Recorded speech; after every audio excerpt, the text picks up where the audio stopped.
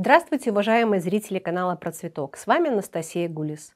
И сегодня хотелось бы поговорить о многолетниках, которые стали такими редкими в нашей природе, но могут с успехом выращиваться в наших садах.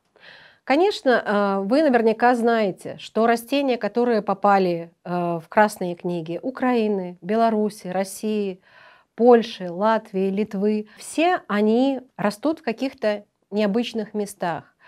Но многие из них являются редкими именно потому, что человек уделяет им слишком много внимания. Их красота привлекает. Цветки так и манят нарвать их для букетов. Не стоит срывать этих растения, лишая их возможности отплодоносить. Попробуйте вырастить их у себя в саду, и вы, возможно, сможете резать э, букеты в свое удовольствие при необходимости, а также поддерживать популяцию редких и охраняемых растений. А, первым растением, про которое мне хотелось бы вам рассказать, является ветреница дубравная. Это многолетник из семейства лютиковые, а, встречается только в местах выхода известняковых пород.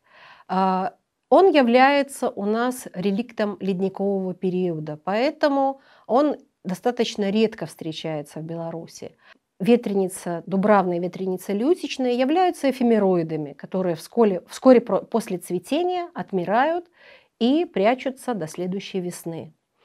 Еще одно интересное растение из семейства лютиковые – это купальница европейская. Это растение также называется жарки, пиаресна по-белорусски оно еще называется. А, оно отличается яркими золотисто-желтыми цветками – и красивой рассеченной листвой. А, это растение достаточно требовательное к плодородию почв. Оно хорошо растет на таких жирных, хорошо увлажненных почвах. В этих местах оно образует очень пышную, красивую листву и дает обильное цветение. А, как и ветреница лесная, так и купальница европейская, очень часто э, дают повторное цветение после жаркого лета э, в конце августа, в начале сентября. Э, и это также придает им особую декоративность. Э, также в семействе лютиковых есть очень красивые растения, которые являются полукустарниками. И они также способны украсить наши участки. Это клематис прямой. Этот вид является кустовым растением, в отличие от большинства клематисов, которые являются вьющимися лианами. Он цветет в середине лета такими пышными белыми душистыми цветами, собранными в большие соцветия. А, очень хорош этот клематис в срезке. У него есть э, формы, с такой красивой пурпурно окрашенной листвой, которая а, очень декоративна именно в момент отрастания. К моменту цветения она уже приобретает такой темно-зеленый цвет, но э, вот это весеннее окрашивание листвы да, придает дополнительную декоративность этому растению. Клематис цельнолистный не встречается на территории Беларуси, но э, он является редким на территории сопредельных государств. В Украине, в России это редкое растение. И оно также достойно занять места в наших садах. Э, это тоже кустовой клематис, один из немногих. А, в отличие от большинства других клематисов, он имеет очень интересные такие нежно-голубые, либо светло-синие колокольчатые цветки, которые имеют очень приятный и нежный аромат. Я думаю, что э, стоит попробовать вырастить у себя этот душистый клематис. Тем более э, у него достаточно продолжительное цветение, и куст его сохраняет декоративность до поздней осени. Тем, кто любит пышные и крупные растения, подойдет э, такой многолетник, как волжанка двудомная. А, это растение, которое в природе встречается на опушках дубрав. Оно требовательно к плодородию почвы, но в принципе оно способно расти и на достаточно бедных и не сильно э, таких богатых почвах. Главное, чтобы было достаточное увлажнение. Это растение очень интересно. А, у него на отдельных экземплярах только женские цветки, которые образуют семена, а на других экземплярах мужские цветки, которые после отцветания ничего не оставляют.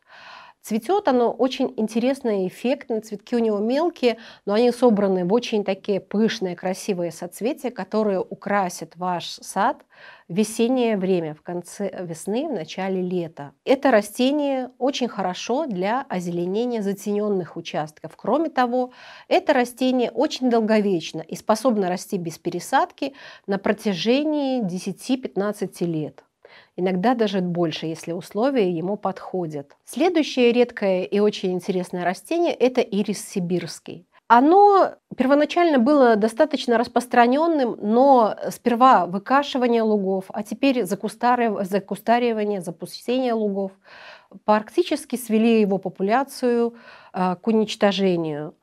А, есть эм, многочисленные сорта этого растения. Оно получило большую популярность э, в европейских странах, э, среди английских цветоводов. Также оно очень популярно в Америке и имеет именно многочисленные сорта, которые отличаются от видового растения как высотой, так и окраской. В отличие от видовых растений синими, голубыми, такими изящными легкими цветками, которые при правильной посадке способны без пересадки расти и эффектно красиво цвести до 10-15 лет на одном месте. А, сортовые ирисы сибирские чаще всего ограничиваются 5-6 годами до момента пересадки. Некоторые быстро растущие сорта быстро размножающиеся, нужно пересаживать каждые 3-4 года. Но все равно это растение очень эффектно, очень красиво, и оно подходит для озеленения очень разных участков. Оно хорошо растет как и на солнечных таких сухих почвах, а, так оно и неплохо себя чувствует на таких полузатененных участках, а, возле воды. Поэтому попробуйте вырастить это э, растение в своем саду, вы наверняка оставите его в числе своих фаворитов. Довольно редкое, но очень эффектное растение – скобиоза голубиная. В Беларуси оно практически пропало. А, оно более широко распространено в степных областях и также у нас является а, таким растением, которое вышло за пределы своего ареала. А, это типичное растение степей, и поэтому оно отлично растет на солнечных, хорошо освещенных участках, ну, с достаточно бедными неплодородными почвами. А растение это дает обильный самосев, если э, условия для него подходящие. И чем оно особенно ценно, это растение цветет во второй половине лета. А растение это изящное очень, его соцветия э, они не очень крупные, но они могут э, варьировать по окраске от таких светло-розовых до таких лиловато-пурпурных. Ну, чаще всего они, конечно, такие вот светло-сиренево-розовые. А, они э, растут на таких безлистных практически тонких побегах. Листья собраны в прикорневую пышную розеточку. То есть это растение очень хорошо подходит для озеленения каких-то э, солнечных мест, для ракариев, для каменистых садиков. А, вот в этих местах оно себя чувствует просто отлично. Еще одно нежное и изящное растение для вашего сада, которое успешно растет в затенении и пригодно для старых садов, является бубенчик лилии листной. Это растение семейства колокольчиковые, и поэтому оно внешне очень напоминает такой прозрачный, нежно-голубой колокольчик, а, который собран в такой большое, пышное достаточно соцветие. Цветет он в середине лета. А, растение это достаточно быстро отмирает после цветения, поэтому его желательно высаживать на заднем плане, так чтобы э, переднюю часть посадки прикрывали какие-то растения с пышной красивой листвой. Потому что растение это достаточно высокое, он может достигать высоты 80 э, сантиметров, и он очень эффектен. А, вот попробуйте, посадите это растение нежное, красивое. Он очень легко размножается семенами, и в подходящих условиях он дает самосев. Но если вам хочется чего-то более такого весомого и стабильного, попробуйте посадить редкие рододендроны, которые встречались на территории бывшего СССР. А для Беларуси таким редким э, видом рододендронов является рододендрон желтый.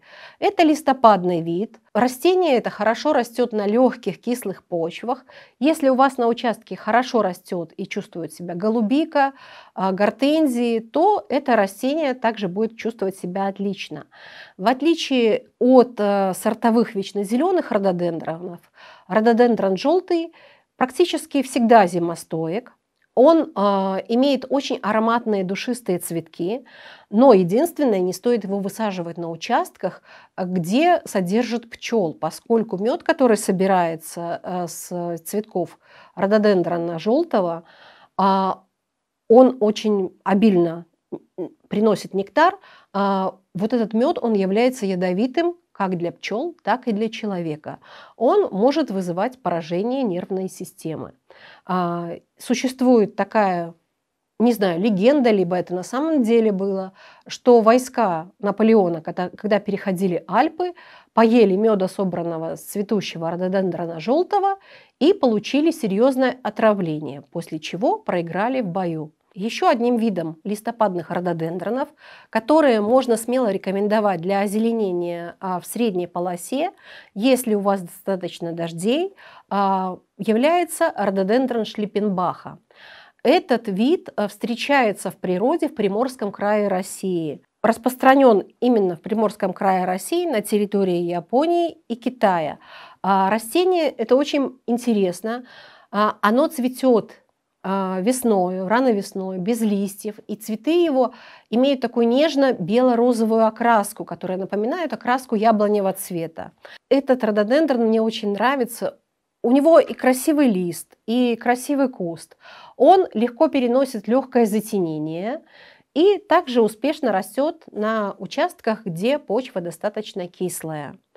И в принципе он э, легко размножается как посевом семян, то есть а, при посеве семян, как рододендрон желтый, а, при правильной агротехнике это растение зацветает на 4-5 год выращивания, что сопоставимо с, со сроками цветения большинства многолетников, которые мы выращиваем из семян. Ну и кроме того, это долговечное растение, оно способно украсить ваш участок на долгие годы.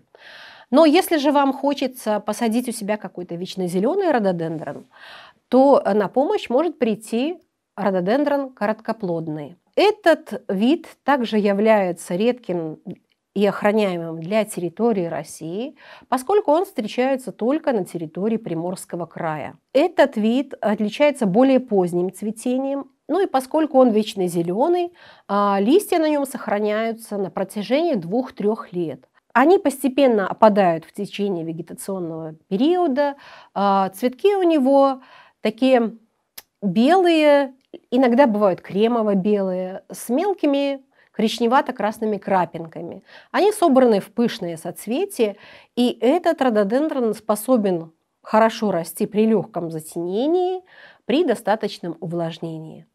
А, надеюсь, мой рассказ поможет сохранить эти редкие охраняемые растения в природе, а также пополнит ими ваши сады. А, подписывайтесь на наш канал, ставьте лайки. thank you